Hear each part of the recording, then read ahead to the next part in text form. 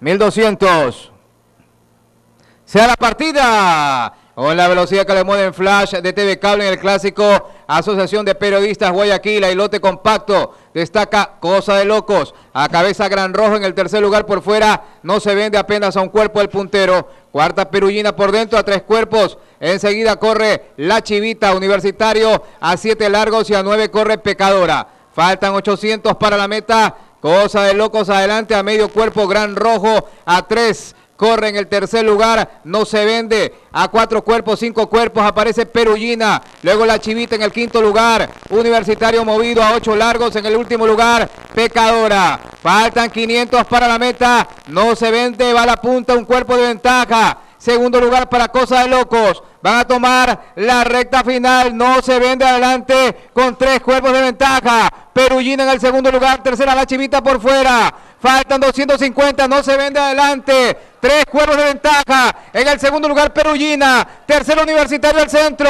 Faltan 150. No se vende. Estira diferencias. Cinco cuerpos. Segundo, Universitario. Tercera, Perullina. No se vende. Primera. Luego, Universitario junto a Perullina. Pecadora, cosa de locos. La chivita, gran rojo y así llegaron. Es una buena potranca, la hija de Express News y Villa Cielo. Gana como quiere esta prueba clásica en homenaje a la Asociación de Periodistas Guayaquil. De tercera, muy tranquila para progresar en los 500, dominar ya Cosa de Locos y luego ampliar diferencia faltando 150 Daniel Alvarado en la conducción. ¿Será el segundo clásico de Daniel en el año? Armando Roncancio en la preparación. Defensora de la divisa del Chipipe.